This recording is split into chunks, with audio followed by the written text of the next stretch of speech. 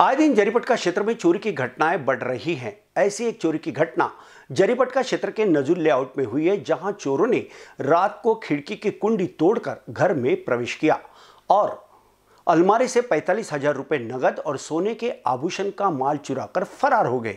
Jaripatka police आगे की जाँच कर रही है। नजूल लियाउट निवासी अंजीरा नरेंद्र शेंडे शुक्रवार शनिवार की दरमियानी रात में परिवार के साथ घर में सोई हुई थी। इस दौरान किसी ने खिड़की की कुंडी तोड़कर घर में प्रवेश किया और अलमारी से पैतालीस हज़ार रूपए नगद और सोने के आभूषण ऐसा कुल सवा दो लाख रुपए का माल चुरा लिया।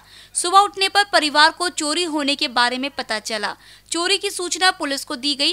श्वान पथक व फिंगरप्रिंट विशेषज्ञों के साथ आला पुलिस अफसर सदल बल मौके पर पहुँचे। जरीपटका थाने में प्रकरण दर्ज किया गया है।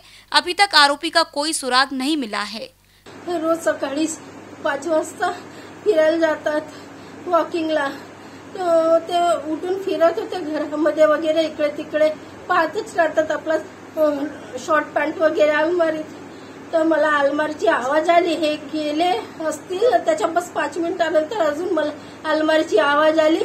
तुम्ही म्हटलं खुशचे पप्पा म्हणून पण मी डोळे खोलून नाही पाहिले. मी औषधा खाऊन झोपली होती तर. आणि वरती चालाची आवाज आली. मग मी अलमारीकडे वाकून पाहिलं. तर दोन्ही दरवाजे खुले होते. तर जाऊन पाहिली. तर बॅगच गायब होती त्याची ज्या बॅगमध्ये.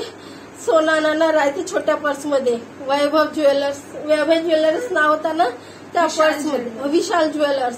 त्या पर्समध्ये पूर्ण सोना होता माझ्या. ते बॅग नाही दिसली तर मी हिला आवाज दिलो आणि आपल्या पप्पाला फोन केला आणि आम्ही वरती जाऊन पाहिलो. तर त्या पुऱ्या बॅगा वरतीच पडल्या होत्या. कैमरा पर्सन अखिलेश भारद्वाज के साथ संजय बिरे बीसीएन न्यूज नागपुर.